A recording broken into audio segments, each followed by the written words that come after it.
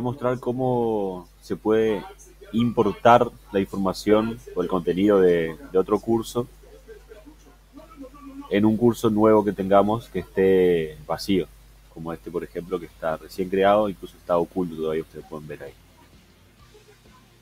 Usaremos la función importar. Aquí en la administración del curso van a encontrar el botón importar.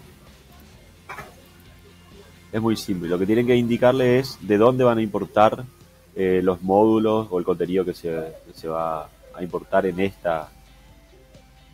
Acá tiene un buscador, en este caso.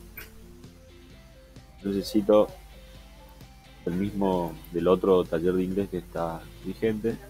Entonces pongo como búsqueda taller. Y acá encuentro el taller de inglés que es el que ya está creado.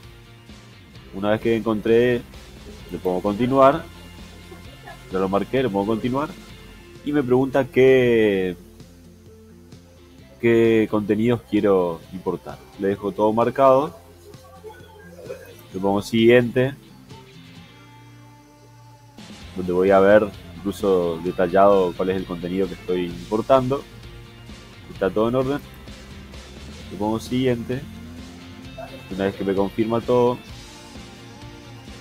realiza la importación en pocos segundos.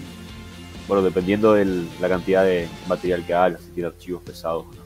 Importación completada. Pulse para volver al curso. Doy continuar.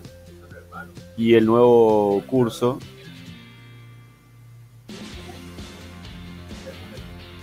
está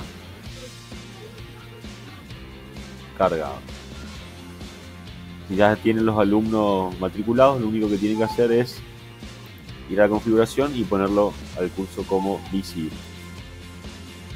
Mostrar.